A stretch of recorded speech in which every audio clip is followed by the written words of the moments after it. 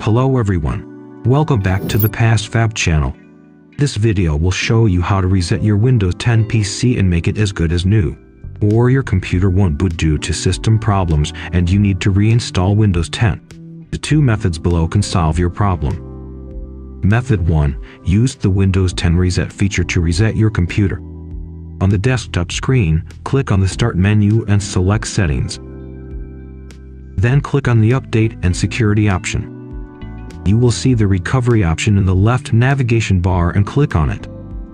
At the top is the Reset This PC function option. Click Get Started. You can choose to keep your files or delete them all. Here we will select Remove All. Then choose to locally reinstall Windows 10. If you do not want someone to recover deleted files through DataTech, you can turn on the Data Erase feature in the Change Settings option. It will take a few hours, but it's also safer. Select Confirm and click Next.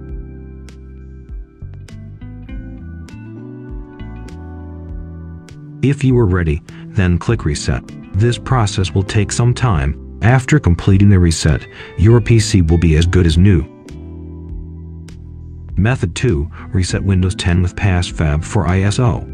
This method works for Windows 10 systems that do not boot properly. In another accessible computer, start PassFab for ISO. You can get it at the link in the description below. Click on the download option at the bottom right. Select the Windows 10 operating system and download the corresponding version. Insert an empty USB drive and click Burn. Wait for the burning to finish.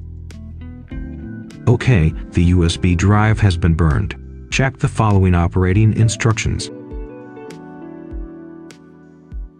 Insert the burned USB disk into the PC. Start your computer and press F12 to enter the boot menu.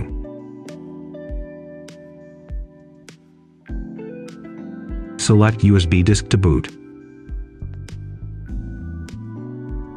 Wait for the Windows 10 installation content to finish loading.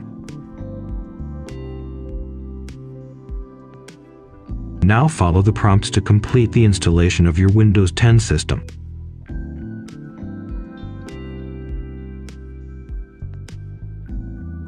That's all there is to reset Windows 10. If you have any questions during the operation, please leave a message in the comment section below, and I will respond positively to your message.